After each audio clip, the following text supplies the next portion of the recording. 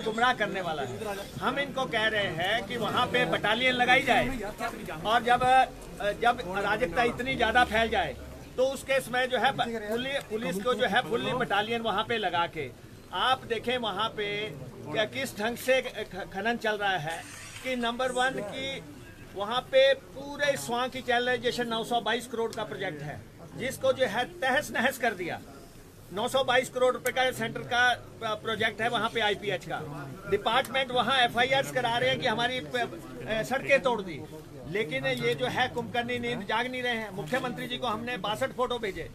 आप देखें कि क्या मुख्यमंत्री जी ने कहा हम कार्रवाई करेंगे। मंत्री को हमने कहा वो तीन दफ़ा वहाँ पे आए। लेकिन पुलिस मौके पे जाती नहीं। वहाँ के एसपी जो है कुर्सी से उठते ही नहीं है। कि वहाँ पे जो है कोई भी, भी अधिकारी जो है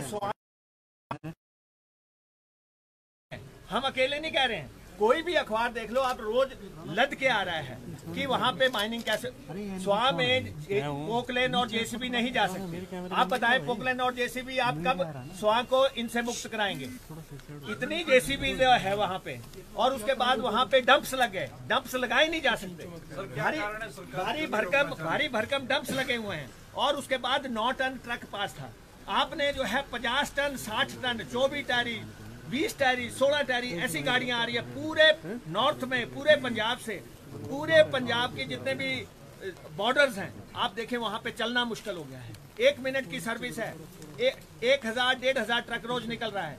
एक ट्रक वाले से आठ हज़ार लिया जा रहा है। और वहाँ पे वीडियोस चल रहे हैं जिसमें कि आप लोगों ने वीडियोस जारी किए जिसमें लोग कह रहे हैं हिमाचल बॉर्डर हम क्रॉस करवा के देंगे आपको कोई दिक्कत नहीं है। हमारी सरकार है हम आपको बॉर्डर क्रॉस करा के देंगे। जब आठ बजे से सुबह छह बजे तक माइनिंग नहीं हो सकती? आठ बजे से सुबह छह बजे तक माइनिंग हो नहीं सकती। सारी रात माइनिंग हो रही है। लोग वहाँ आंदोलन कर रहे हैं। सारे ज़िले में हाहाकार मचा हुआ है। और ये कह रहे हैं कि आपके समय में ऐसा हुआ, वैसा हुआ। भाई, आप हमारे समय में जो भी हुआ, आप सारी लीज रद्द कर दें। हमने भी किया, हम तो बाहर हैं। आप सारी लीजेज रद्द कर दें। लेकिन आप इस ढंग से, आपके लोग शामिल हैं। आपके पार्टी के लोग जो कि यहाँ सरकारी गाड़ियों में कुर्सी